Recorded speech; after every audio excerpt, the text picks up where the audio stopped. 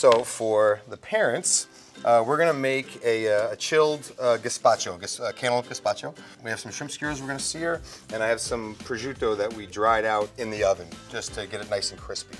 Okay, great. And what are some other vitamins that are in cantaloupe? Cantaloupe, you're getting vitamin A, you're getting vitamin C, you're getting some calcium, you're getting a potassium, but you see this like lovely orange color that it has.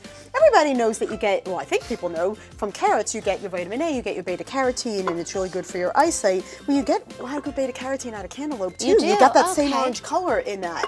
So if your child doesn't love vegetables, they might love this. Why don't they have some cantaloupe? And it's so high in water content too, like Yeah. you said before. So mm-hmm. on a hot day, why Yeah. not hydrate with some cantaloupe? That's mm-hmm. amazing. And Cantaloupe you're, is like number two for my kids. Watermelon's always the Watermelon's a fun Yeah. one. Watermelon's Can you the make best. watermelon roll-ups Sure. too? Yeah, you absolutely Oh, could. I'm going to be like a roll-up Dr. queen. Janko is going to be making fruit roll-ups with every single fruit